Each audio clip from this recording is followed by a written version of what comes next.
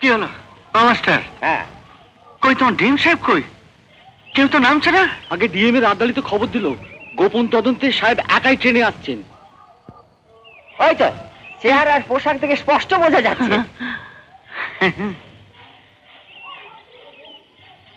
ও master bag বগলে ডিম হ্যাঁ মনে হচ্ছে গোপন তদন্ত করবার জন্য নথিপত্র সব সঙ্গে করে নিয়ে এসেছে।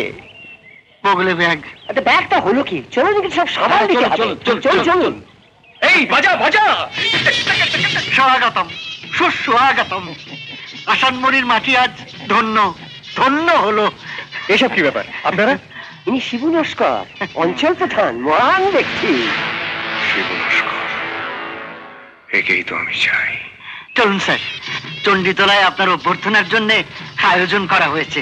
গায়ের গরিব গুরব সব অপেক্ষা করছে। কিন্তু কোনো কিন্তু নয় স্যার।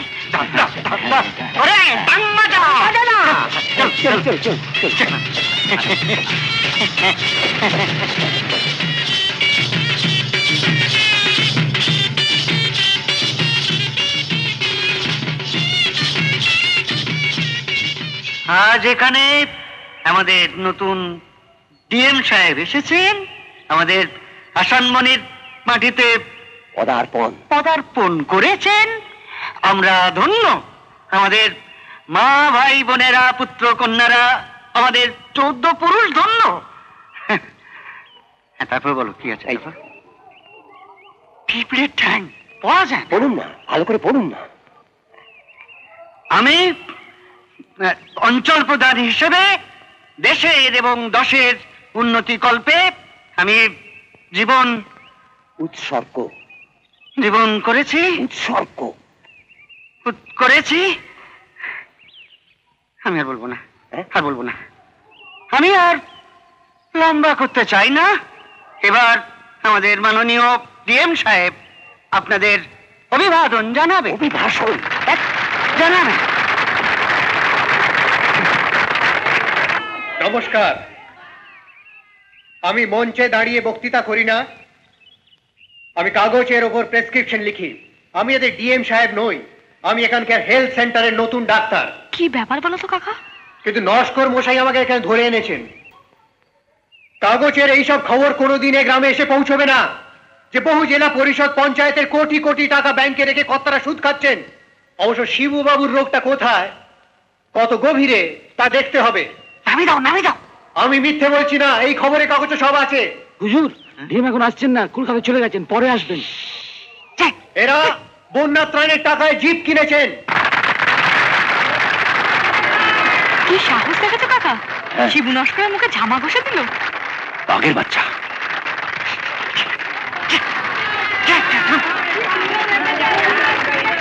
এই সব মহাজনেরা সরকারের বহু টাকা নিজেদের নামে ব্যাংকে রেখে মাসে মাসে মোটা টাকা সুদ খাচ্ছেন তোমাদের জন্য সরকারের দেওয়া এত টাকা আজ পর্যন্ত কোনো হিসেবই তারা দেয়নি।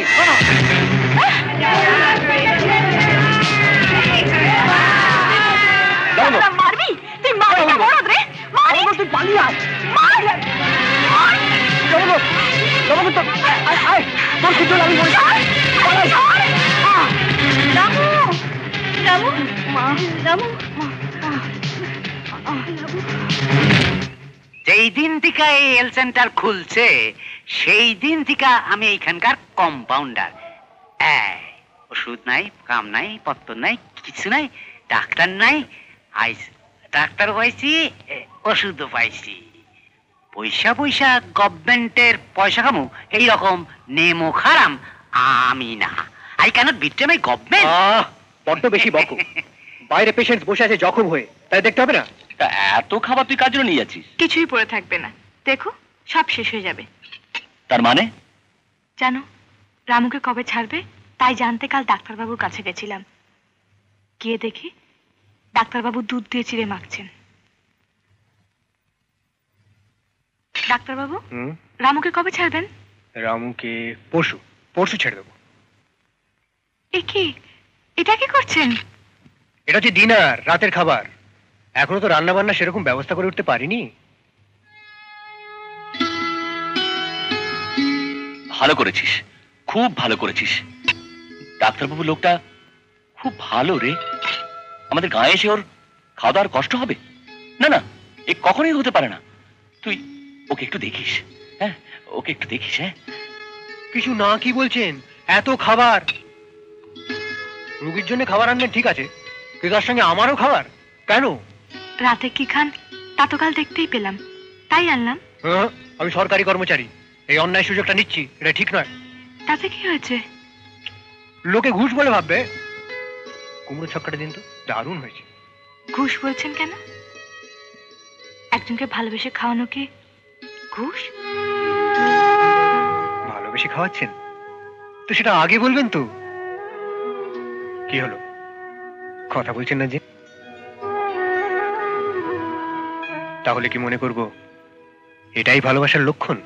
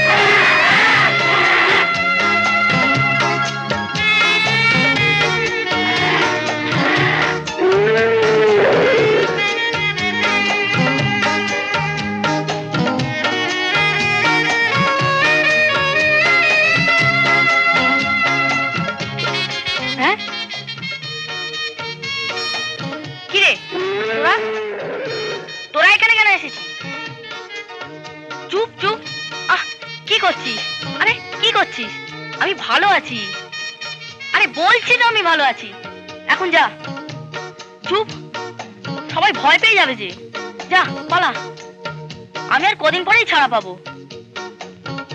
তারপর তোদের কাছে ফিরে যাব। যা পালা পালা পালা।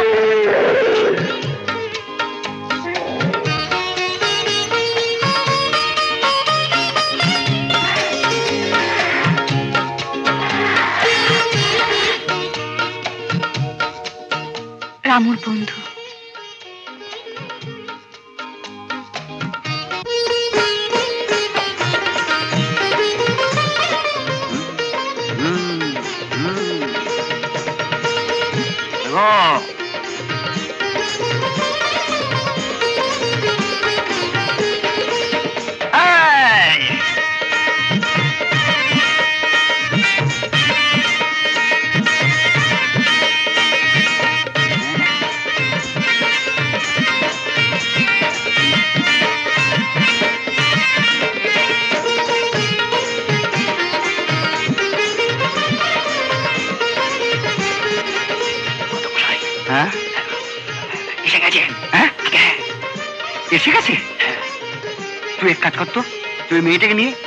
সিঁড়ি দিয়ে বার করে দে সে বার করতে পারছে চলো চলো আর নাচতে হবে না। আমাকে যে বললে নাচ দেখাতে তবে কি টাকা দেবে না?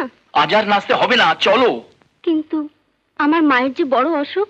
আই মুন্সি আরে পঞ্চাশটা টাকা দিয়ে মেয়েটাকে বিদায় করো না। হ্যাঁ হ্যাঁ হ্যাঁ, হ্যাঁ। এসো আমার সঙ্গে। এই বুবি আগে কথা? বুবি তুই মটরগুলো সব লুকিয়ে ফেল। হ্যাঁ। লুকিয়ে ফেল লুকিয়ে ফেল। হ্যাঁ। হ্যাঁ দিয়ে দাও দিয়ে দাও। দিন দিয়ে দাও হ্যাঁ যা, যা, যা, যা।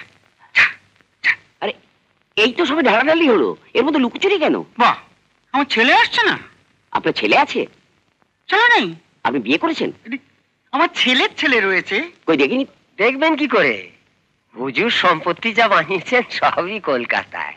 ছেলে বউ তো সব সেখানেই রাজত্ব করছে। হুজুর তো এখানে একাই রাজা। ধোয়া তুলসী পাতা এটাও নোট করা রইল। নোট করো। ভাবি হ্যাঁ হ্যাঁ আয় কি রে খোকন তুই হঠাৎ? দাদু? দাদু? দাদু মুখে ওষুধের গন্ধ? তোকে আমি কতবার বলেছি খোকন তুই এরকম দুমদাম চলে আসিস না। এটা নোংরা গ্রাম এখানে সহমত খারাপ হয়। বাধ্য হয়েই আসতে হলো। হুম, পাঁচ লাখ টাকার আজই দরকার। আলিপুরের বারোতলা বিল্ডিং এর কাজ আটকে গেছে। ঠিক আছে তুই টাকা নিয়ে কাল সকালেই চলে যা। আর এবার থেকে যা লাগবে ওখান থেকে একটা খবর পাঠাস। এভাবে হুটপাট করে চলে আসিস না। এতে সবার সম্ভব সব বিগড়ে যা বিউটি সিম্পলি বিউটি এটাও নোট করা রইল। ওরে ভূপি আগে কথা পশ্চিমের জঙ্গলে পাহারা বসিয়েছে বলছিলি না? আগে ওদিকের জঙ্গলের গাছগুলোতে এতদিন পাচার করছিলাম। হ্যাঁ। তা ওদিকের জঙ্গলে যখন পাহারা বসিয়েছে এদিকের জঙ্গলের গাছগুলো পাচার কর। হ্যাঁ। এই শিকারি। বন্দুক নিয়ে ওর সঙ্গে থাকবে? আজ রাতেই তাহলে। হ্যাঁ।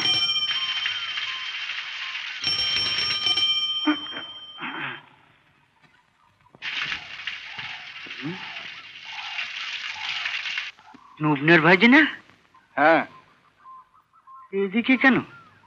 টাউন কলেজে পড়তে চায়। বোধহয় বোনের পথ ধরে শর্টকাট করছে। বেশ ডবকাটি হয়েছে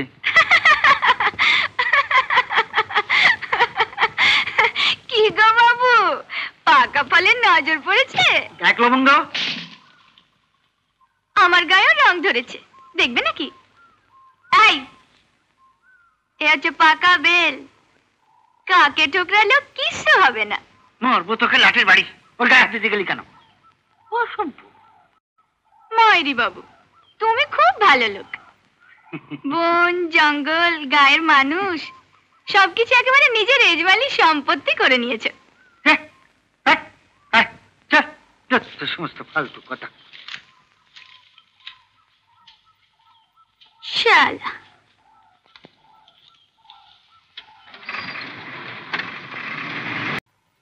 না না না না না আর খানা না। না এখন আমি বাড়ি যাব না। আহ ছাড়ো না। বাবা কিচ্ছু বলবে না। তুমি ছাড়ো? লাগছে। কোথায় গেল? কোথায় গেল সব জবাব দাও। ব্যাংকের টাকা তহবিলের টাকা কোনো টাকাই নেই। আছে কর্তা মশাই সবই আছে। সব ওই হিসেবের খাতায় ঢুকে গেছে। চোর। তোমরা সবাই চোর। তোমাদের কীভাবে শাস্তি দিতে হয় সেটা আমার জানা আছে। আজ সব কাগজপত্র দেখব। কি ব্যাপার কালী? ব্যাপার আবার কি? কবে জমিদারি চলে গেছে? আরে বাবা শুয়ে বসে খেলে রাজা ধনী ফুরিয়ে যায়। খামোগা নস্কর মশাইকে গালাগালি দিচ্ছে। আরে শোনো শোনো। সামনের মাস থেকে আর মাইনে পাচ্ছ না। জমি জমা যা আছে তাই নিয়ে থেকো আর পারো তো এখন থেকে নস্কর মশাইকে সেলাম ঠুকো বরাত খুলে যেতে পারে। দেখি না না না না। এ আমার সই নয়। এ আমার সই নয় জাল দলিল। এসব কি বলছেন কর্তা মশাই আপনার খেয়াল নেই। খেয়াল নেই? হ্যাঁ। মিথ্যে জাল দলিল পাট্টা করে হাজার হাজার বিঘে জমি তোমরা তোমরা বন্দোবস্ত করেছ বেনামিতে। আমি তোমাদের উচিত শাস্তি দেবো। তোমাদের আমি আমি তোমাদের হাজত বাস করাবো। ও নাম বসাই শেষ পর্যন্ত হাজত পাস ভয় পাচ্ছ? যদি সত্যি সত্যি কোর্ট কাছারি পুলিশ করে? জাল দলিল প্রমাণ করতে শেষ পর্যন্ত কেউ কি আর বেঁচে থাকবে।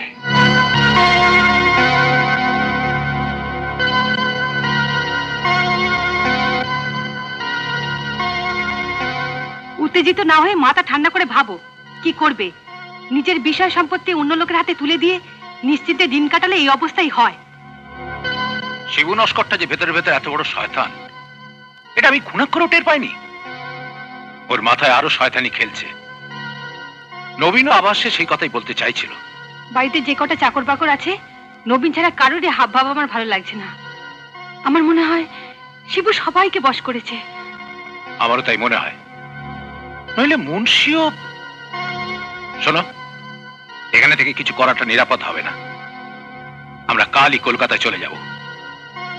তারপর দেখি।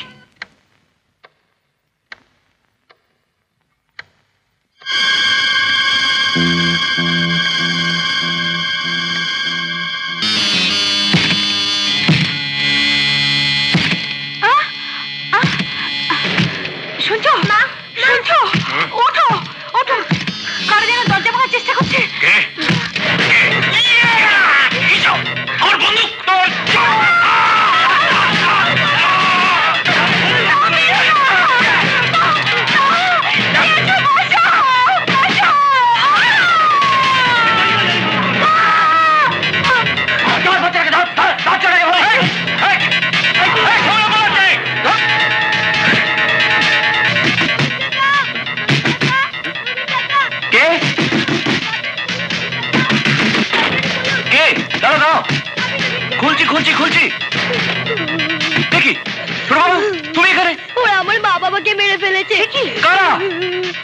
জানি না। মুখে কালো কাপড় বাঁধা। তুমি ওকে সামলাও। আমি দেখছি।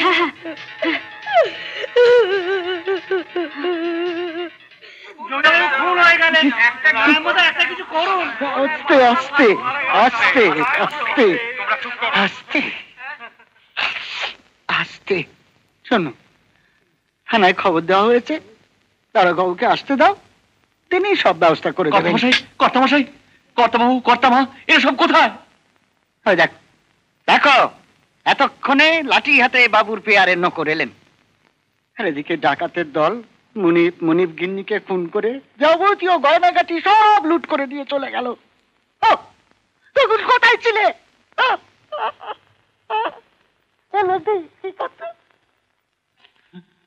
কোথায় থাকো তোমরা সব? এতগুলো লোক বাড়িতে থাকো। খবরদার বলছি চুল ছাড় ভালো হবে না। আমরা তখন ঘুমিয়েছিলাম। বোমার আওয়াজে ঘুম ভাঙতে দেখি ডাকাতরা বোমা ফাটাতে ফাটাতে পালিয়ে যাচ্ছে। তো আমরা কি করব? এই কালি এসব কথা তুই ওকে বলছিস কেন? এসব কথা তুই পুলিশকে বলবি। তা দেখ যে লোকজন নিয়ে গিয়ে দেখ ছেলেটার খোঁজ কর। দেখ আবার ওই দোতলার জানলা দিয়ে লাফাতে গিয়ে কত মরে পড়ে আছে কিনা? যা। ছোট বাবু যে দোতলার জানলা দিয়ে লাফাতে গেছে এ কথা আপনি জানলেন কি করে? হ্যাঁ? আপনি জানলেন কি করে? কি? হয়েছে? কেউ দেখেছে তাই জেনেছি। এত কৈফিয়ত আমি তোমাকে দিতে পারব না বাবা নবীন। সেসব আমি পুলিশকে দেবো। কি দেখছ কেমন করে? হ্যাঁ? এ- এ- আই কালি। দেখ ছেলেটার খোঁজ কর। আর দেখ ওই যে বললাম না তোকে দেখ কোথাও মরে পড়ে আছে কিনা? বুঝলি তো? বুঝেছি হুজুর। গায়ের ঘরে ঘরে, জঙ্গলে জঙ্গলে ওটাকে ঠিক খুঁজে বার করব। আপনার কোনো চিন্তা নেই হুজুর। এই, আয় আয় আয় আয় সবাই।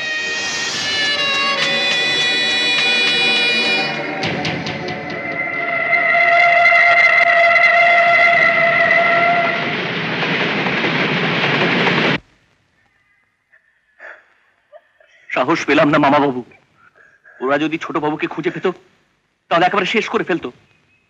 তাই তো রাতের অন্ধকারে বাড়ি থেকে চুপি চুপি কলকাতায় পালিয়ে এলুম। আপনার কাছে পৌঁছে দিলুম। তুমি ঠিক জানো তো নবীন প্রমথ প্রতিমা ওরা সত্যি আর বেঁচে নেই। না মামা বাবু আসানবনি গ্রামে ছোট বাবুর আর কেউ বেঁচে নেই। আমি ওর নিজের মামা আমার অর্থবল নেই। তবু আমি হাল ছাড়বো না। খুনিদের ধরার চেষ্টা আমি করবই। আমি যদি না পারি, বিজু, তুই চেষ্টা করবি। তুই যদি না পারিস, তোর ছেলে, তারপর তার ছেলে। বিজু, ওঠ, উঠে দাঁড়া। ওঠ।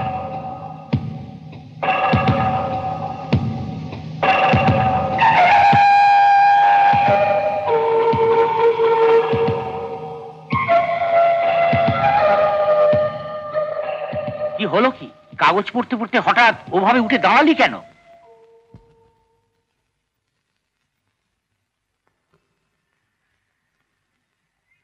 এই জঘন্য আসানমণি গ্রামের হেলথ সেন্টারে সত্যি সত্যি তুই ডাক্তারি করতে যাবি?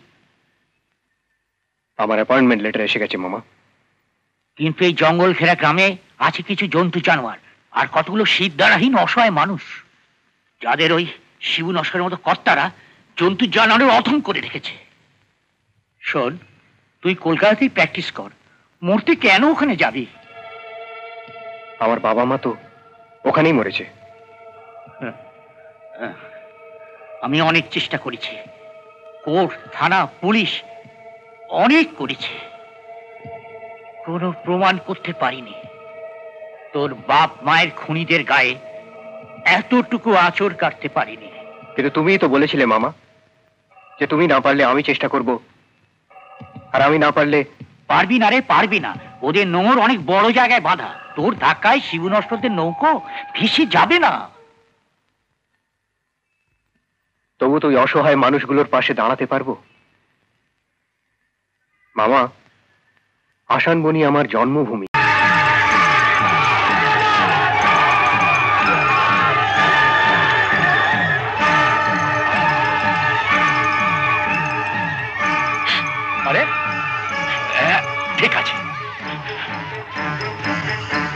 আরে ওঠ ওঠ ওঠ।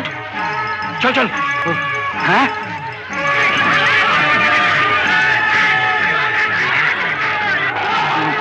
এইখানে যতজন আছিস দাঁড়িয়ে পড়। তুই যা শিকারী দলবলকে খবর দে একটা কেউ ছাড়বি না। দলিল হাতাতে না পারলে সব কটাকে জলে খতম করে দিবি। ঠিক আছে কর্তা মশাই। যা এইখানে চল। হ্যাঁ চল। যা।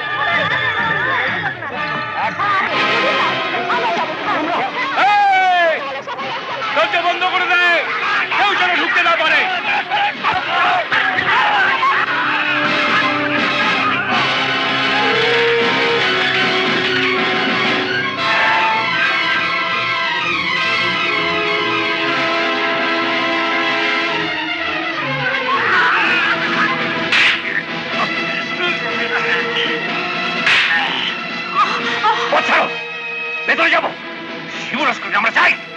শয়তানদের আজ শেষ করব। তারপরে যা যা। থেকে ফিরে দাও ফিরে দাও আগে দলিলগুলো ফেরত দে। এই!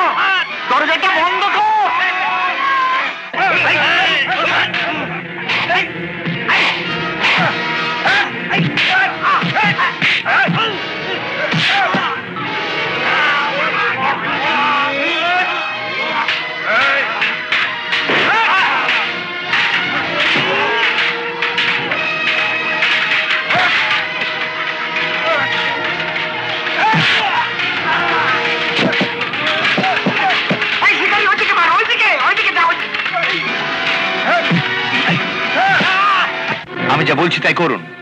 আপনার বক্তব্য লিখিতভাবে পেশ করুন। তারপর তদন্ত করা হবে। দেখুন আইনের পথেই আমি চলতে চাই। কিন্তু লেখালেখি করার সময় এখন নেই। আপনি এখনই না গেলে একটা সাংঘাতিক কাণ্ড ঘটে যাবে। ওই শিবু লস্কর চুপ করুন। মিথ্যে অভিযোগ করা আপনার একটা অভ্যেসে দাঁড়িয়ে গেছে। তার প্রমাণ আমি আগেও পেয়েছি। এখন আসুন আমার কাজ করতে দিন। অ্যাকশন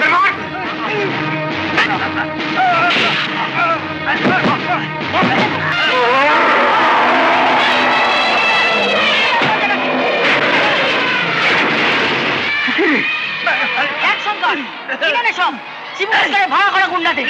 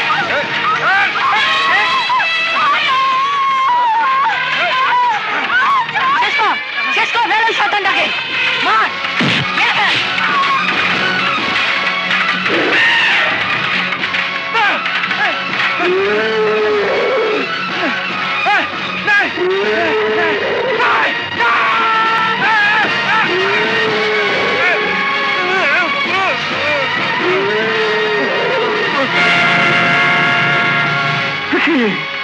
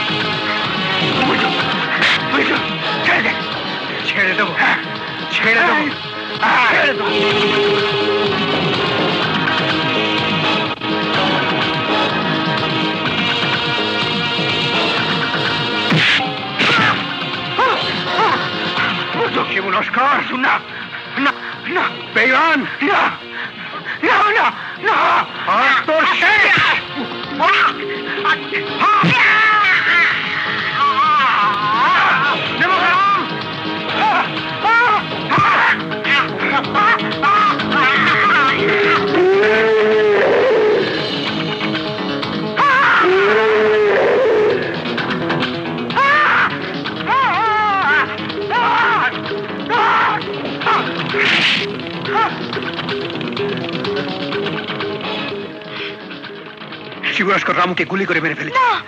কি বলছো? ওদিকে ওদিকে শঙ্কর খেপে গেছে। শয়তানটাকে সুরে করে তুলে নিয়ে চলে গেছে।